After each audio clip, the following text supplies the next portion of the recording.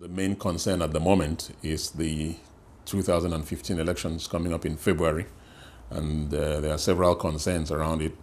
Uh, some organizations are concerned with the election from a technical side, how the election is being planned for and administered by the Electoral Commission.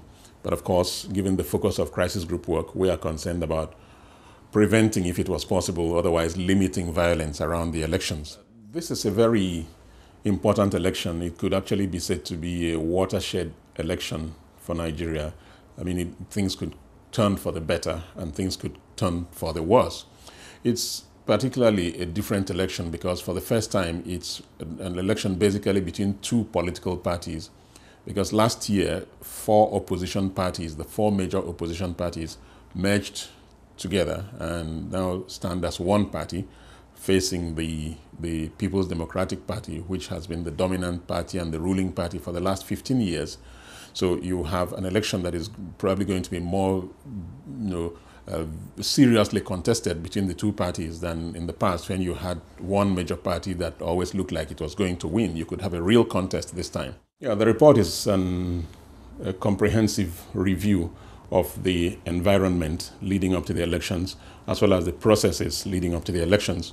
But it's, uh, it's particularly concerned about the behavior of various actors and stakeholders, political parties, ethnic pressure groups, and so on, and how they impact the elections. From everything that we're seeing, the behaviors of these actors in the very volatile environment in which the election preparations are taking place suggest that there is a risk of violence around the elections at various levels it could be before the elections, during the, the, the balloting, and especially after the elections, because uh, from everything that we found in our field research, there is a, a, a, very good high risk that the results will be contested.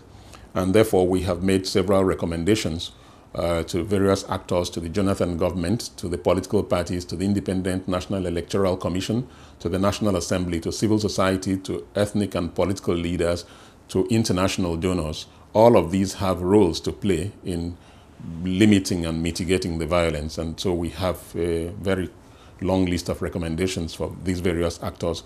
We believe that uh, violence can still be prevented or can be minimized, but it requires very urgent action because we've just got a few months to go before February 2015.